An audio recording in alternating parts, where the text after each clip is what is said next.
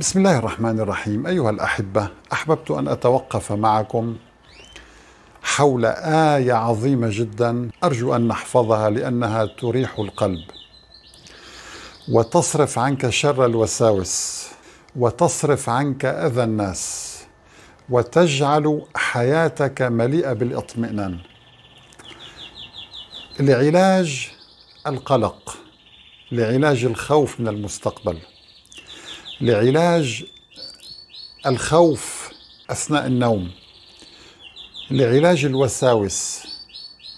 آية في سورة الزمر الايه 38 عظيمة جدا ولكن معظمنا يغفل عنها. يجب أن تحفظها معي اليوم وأن تتفكر فيها.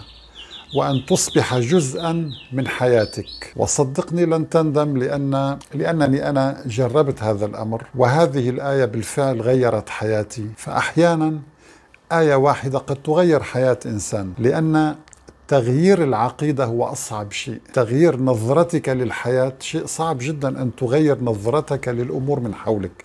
هذه الآية ستجعلك تغير نظرتك لكل شيء تقريبا من حولك وبخاصة المخاوف والقلق والآلام والأحزان والخوف من الناس أو من المحيط أو من المستقبل. الله تعالى يقول ولئن سألتهم من خلق السماوات والأرض لا يقولن الله قل أفرأيتم ما تدعون من دون الله؟ إن أرادني الله بضر هل هن كاشفات ضره؟ أو أرادني برحمة هل هن ممسكات رحمته؟ قل حسبي الله قل حسبي الله عليه يتوكل المتوكلون. والله أيها الأحبة كل كلمة من كلمات هذه الآية أثقل من الجبل لو فهمنا معانيها. هذه الآية بدأت بسؤال كلنا قرر إجابته مسبقا. لا أحد يستطيع أن يدعي أنه هو من خلق الكون. حتى الملحد لا يستطيع أن يقول لك هناك بشر خلق الكون. حتى الذي ينكر وجود الله يعترف أن هناك قوة عليا هي التي صنعت هذا هذه السماوات والأرض. ولئن سألتهم والخطاب هنا لمن؟ ال ال ال الخطاب هنا لنبينا عليه الصلاة والسلام ولنا نحن المؤمنين من بعده.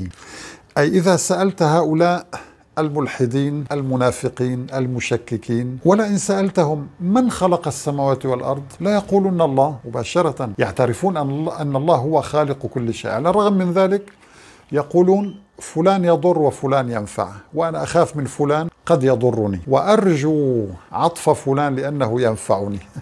هذه الآية ستغير هذا المفهوم تماما أخي الفاضل. لذلك الله ماذا قال بعد هذه المقدمة؟ ولئن سألتهم من خلق السماوات والأرض لا يقولون الله. إذا أنت اعترفت سواء كنت مؤمنا أو مشككا أو ملحدا أن الله هو خالق الكون. كما قلنا الملحد لا يقول الله يقول هناك قوة ولكنه يعترف أن هناك إله للكون بغض النظر عن شكل الإله الذي يعتقد به. قل أفرأيتم ما تدعون من دونه؟ هؤلاء الذين تظن أنهم يسيطرون على الدنيا تخاف منهم. قل أفرأيتم ما تدعون من دونه؟ يا هل ترى دقق معي أخي الحبيب. إن أرادني الله بضر إذا كتب الله لي ضرا إذا كتب علي حادث أو شر أو مرض أو أذى أو فقر إن أرادني الله بضر هل هن كاشفات ضره؟ هذا الإنسان حتى لو كان أعظم ملوك الأرض هل يستطيع أن يكشف ضرا عن إنسان كتبه الله عليه؟ أصلا هو لا يستطيع أن يكشف الضر عن نفسه إذا أصابه مرض قد يموت ولا يستطيع إنقاذ نفسه فكيف يكشف الضر عن غيره؟ يعني هو أضعف من ذلك بكثير قل أفرأيتم ما تدعون من دون الله؟ هؤلاء الذين تخافون منهم وتترجون رضاهم. قل أفرأيتم ما تدعون من دون الله؟ إن أرادني الله بضر.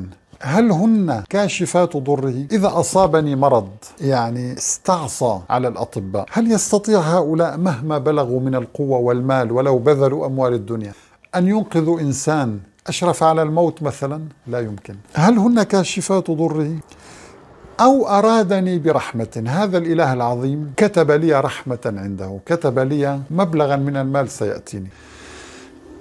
كتب لي خيرا سيأتيني. كتب لي رحمة ما زوجة ستقر عيني بها. طفل سيكون قرة عين لي. أي خير أو رحمة كتبها الله لي. أو أرادني برحمة. هل هن ممسكات رحمته؟ يعني هل يستطيع أحد أن يمنع عنك رزقا كتبه الله لك؟ طبعا لا. إذا ما دمت اعترفت بذلك إذا قل حسبي الله. الله يكفيني. حسبي الله. أنت عندما آه، تقول لفلان يتقدم تقول حسبك يعني يكفي هنا توقف هنا. حسبي الله. الله يكفيني كل شر وكل هم وكل ضيق وكل مشكلة. قل حسبي الله. عليه يتوكل المتوكلون. اذا أعظم عبادة أنا بنظري يمكن أن تجعلك مطمئنا جدا في هذه الدنيا هي التوكل على الله الذي للأسف فقدناه. وكلنا أنفسنا للأسباب. أحدنا يلهث ليخرج من مكانه بسبب ضيق الرزق وقد يكون فيه خير لك وأنت لا تدري. ويذهب ليقول لك أريد أن أؤمن المستقبل والأولاد والعلاج والتعليم وكذا وهو لا يضمن أي شيء. لا يضمن لنفسه أن يعيش يوم واحد. فكيف يضمن مستقبلا لغيره ولأولاده وأسرته؟ أصبحنا أيها الأحبة نعتمد على الأسباب المادية من حولنا فقدنا لذة التوكل على الله. أحبابي في الله التوكل على الله هو لذة عظيمة لا يشعر بها ولا يستطيع أن يصفها إلا من تذوقها. في قمة المرض أن تقول الحمد لله. في قمة الخوف أن تجد نفسك مطمئنا بفضل التوكل على الله. أنا أنا معي رب هو إله هذا الكون لماذا أخشى غيره؟ انظر إلى حبيبك عليه الصلاة والسلام.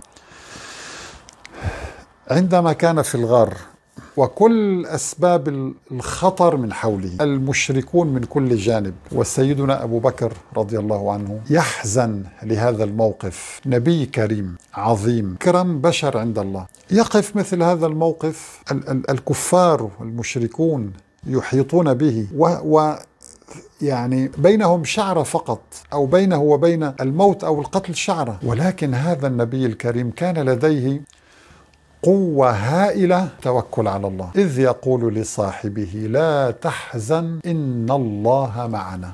لأنه أدرك أخي الحبيب انتبه أدرك هذه الآية في سورة الزمر. أدرك أن الرحمة لن يستطيع أحد أن يمسكها. وأن الضر إذا وقع به لن يستطيع أحد أن يكشفه إلا الله عز وجل. قل أفرأيتم ما تدعون من دون الله؟ إن أرادني الله بضر هل هن كاشفات ضره؟ أو أرادني برحمة هل هن ممسكات رحمته؟ قل حسبي الله. النبي علم تماما معنى هذه الآية.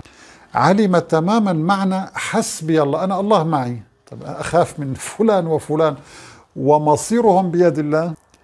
لا يملكون لأنفسهم ضرا ولا نفعا ولا يملكون موتا ولا حياه ولا نشورا. اذا كيف كيف يخوفني شخص هو لا يملك أي شيء على الإطلاق؟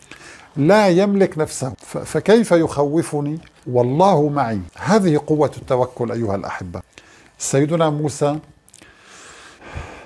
أيضا أدرك هذا المعنى عندما وجد البحر من أمامه والعدو من ورائه الذي قال أنا ربكم الأعلى فرعون وجنوده أحاطوا بسيدنا موسى والمستضعفين معه من كل جانب. أصحاب موسى قالوا إنا لمدركون فقدوا الأمل من الله فقدوا يئسوا من رحمة الله والعياذ بالله. وهذا كفر نوع من أنواع الكفر.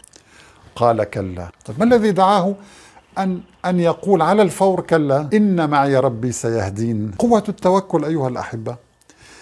علم أنه لا يضر ولا ينفع إلا الله. علم معنى هذه الآية. إن معي ربي سيهدين.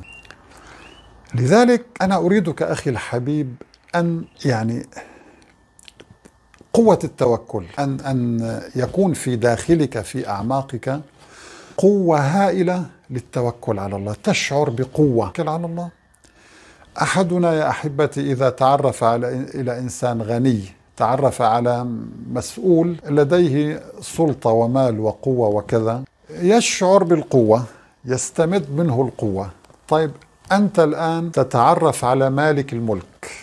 كم حجم القوة التي يجب أن تشعر بها؟ شيء عظيم جدا. إذا التوكل على الله هو مصدر القوة أيها الأحبة. لماذا نشعر بالضعف اليوم؟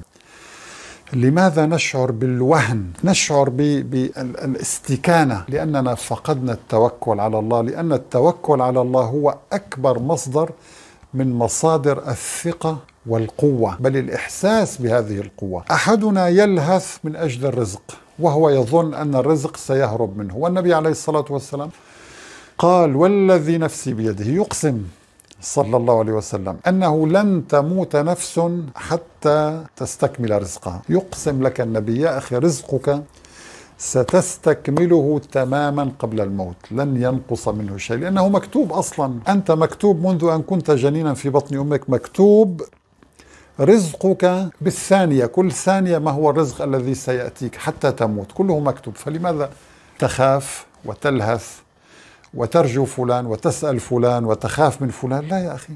وجه نظرتك اجعل حياتك بيد الله سبحانه وتعالى.